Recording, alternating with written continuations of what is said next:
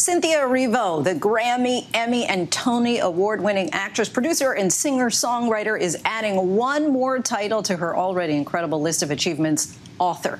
Her new children's book, Remember to Dream Ebere, will be out next week. It's a story of a little girl whose mother teaches her to dream bigger than she could imagine.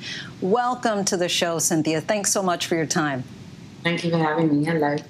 So you sing, you act, you produce, and so it really should come to no surprise to all of us that yes, you also write. What inspired you to write a children's book? Was when I was first asked to write this book a while ago, I said no uh, because I am a glutton for punishment, and I want to make sure that whatever I comes from me comes genuinely from me, and I wanted to write it. If I wasn't able to write it, I was going to do it. But then one day I must have been I think preparing for a meeting or something, and the idea fell into my head. Um, it sort of fully formed, and it was the idea that I could um, teach children to dream bigger than they can imagine, but also fill it with all of the detail and all the nuance and all of the uh, vivid colors that we see our dreams with, because I think that's how our dreams become reality.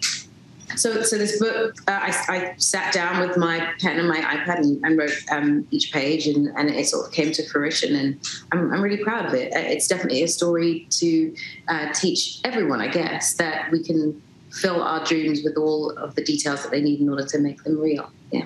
And even though it is in the category of a, a, children's book, really there's a message there for, for the adult readers as well. The book begins with Ebere's mother saying, Remember to dream big, my love. Why did that message resonate with you? Why did you feel that it was so important? Because I think it's something I've been doing my my entire life, and it seems I feel like I'm uh, the, the, proof that having dreams and following them and seeing them fully um, ends up doing pretty well. You know, um. I, have I've been I've had my dreams. I've, for as long as I can remember. And the thing I used to do, and I still do, is I write them down, I fill them with all the detail, and because I feel like when you're specific about what you're asking the universe for, um, it comes to you because I think it tells the universe that you're ready for it. Um, and so I want to keep uh, teaching that message that everyone's dreams are valid. Um, and the more we can believe in them, the more we can see them as fully as possible, the more real they become.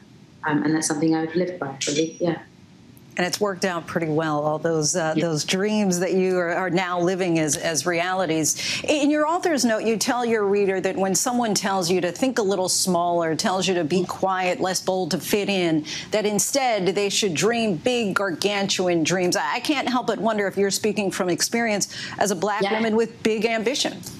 Yes, yeah, absolutely. That that message at the end is for everyone who reads this book, not just for, for the children, it's for the children to hear, and for the for the adults who are reading it to also take that message for themselves. I I've been a person that has been told that the dream that they have is too big or too ambitious, or I'm I am thinking too far ahead of myself, or, and I should make myself a little bit smaller, or I'm too loud, or all of these things, too different, to this, to that, to that, and um and I've not allowed that to uh, sway me from the thing that I believe that I deserve. And specifically, what is your message to those young kids out there in particular who are told to, to think a little small or told to be quiet and, and be less bold?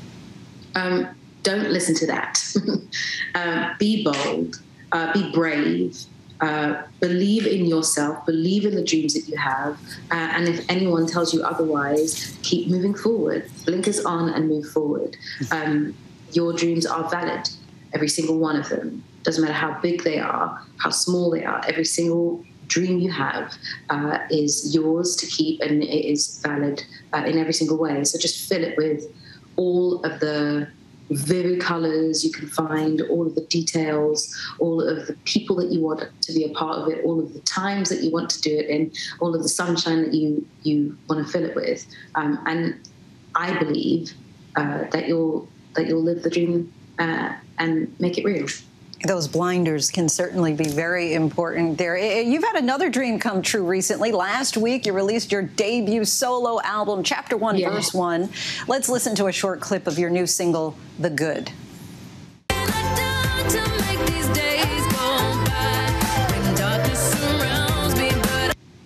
This feels rather different from your work on Broadway and in the movies. What was your goal in Chapter One, Verse One?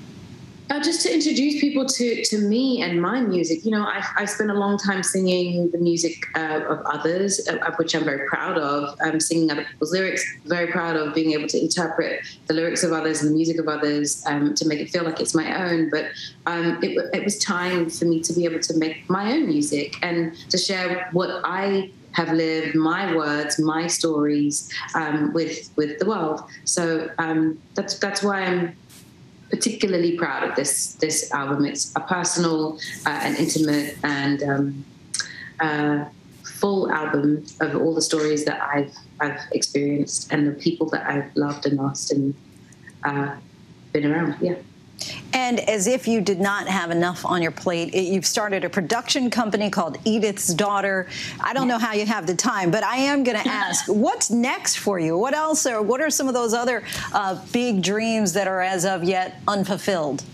I mean, well, I hope that uh, I'm, I'm, going to be able to produce uh, a series and TV and, and, other such things that allow other people in this space uh, to, to realize their own dreams. I hope I get to to introduce the world to new and wonderful performers and artists as well. Literally after this, I'm going to go and pitch something uh, as well. So you know, I'm I'm hands on, and I want to be able to not just be in these projects, but create the space for other people to to experience it too. Yeah. Cynthia Erivo, we thank you so much for your time, for your insight, for coming by the show. Her new book, Remember to Dream Ebere, is out next week. Thank you for having me. Hi, everyone. George Stephanopoulos here. Thanks for checking out the ABC News YouTube channel. If you'd like to get more videos, show highlights, and watch live event coverage, click on the right over here to subscribe to our channel. And don't forget to download the ABC News app for breaking news alerts. Thanks for watching.